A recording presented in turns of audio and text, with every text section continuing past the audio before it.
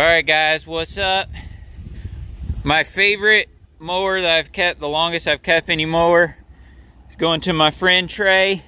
He's going to use this in his business. Um, he's getting married, about to uh, do some things with his business. And he asked me the other day he wanted to buy it. And so, let's get in the last video clip of it, see what it looks like. And uh, I appreciate you, buddy. Thanks for doing what you do. There it goes. Snapper Pro. You hear at my church. Ah. I don't know if I'm gonna kind of miss it, you know?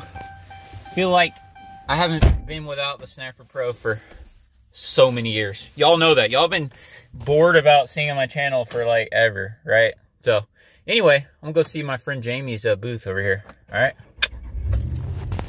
gonna rain yeah. All right guys my friend jamie look at his setup. He's got his new truck out here.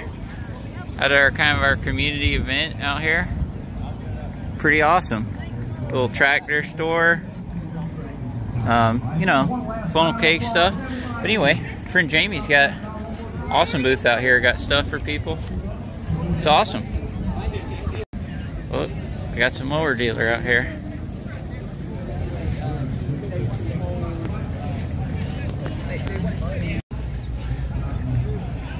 All right, guys, so this is a Gravely dealer out of Thompson, which is about maybe an hour and a half from where I'm at. And they came down to this event, which is cool. Look at this thing. Yeah. ZTHD, here's the ZTXL. Pretty cool little mower. I like how they done the styling and stuff on this. So you even got your little step here.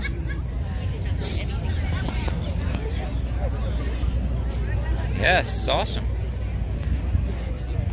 All right, guys, back in the truck. I am driving. I got to go back to a pine straw job. It's pine straw season, boys, and we are busy, busy. I could work 24-7 right now. But anyway, so I seen those booths for a couple minutes, and now I got to head back into this neighborhood, which is actually right by that kind of festival, into our gated neighborhood, and I got to keep working on straw, pine straw job. But, uh, eventually, I'm to have to pick up a new mower to replace that mower.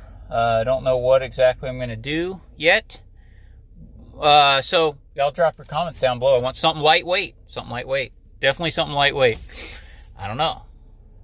Do I look for another Snapper Pro just like that one? Do I buy a Hustler Raptor?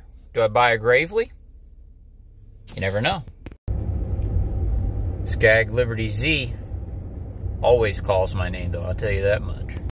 So does Walker Mowers. Um, so, I don't know.